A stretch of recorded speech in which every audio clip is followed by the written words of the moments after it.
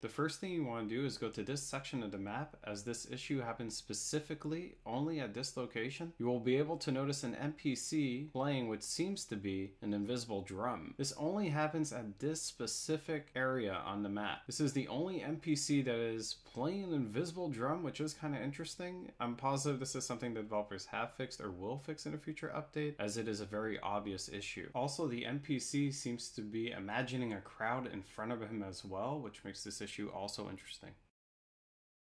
For more upcoming videos, please click like and subscribe. Thank you for watching.